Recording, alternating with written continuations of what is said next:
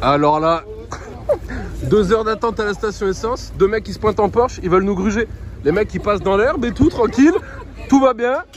Le mec, il a ramené la barrière. il est là. Eh, franchement, il n'y a pas de respect. Non, euh, le mec, il gruge, il roule dans l'herbe là et tout. Eh, ça fait deux, De toute On, habite à 200 bornes. Faut qu'on rentre. Oh putain, Ça fait 2 heures. ouais, mais c'est clair.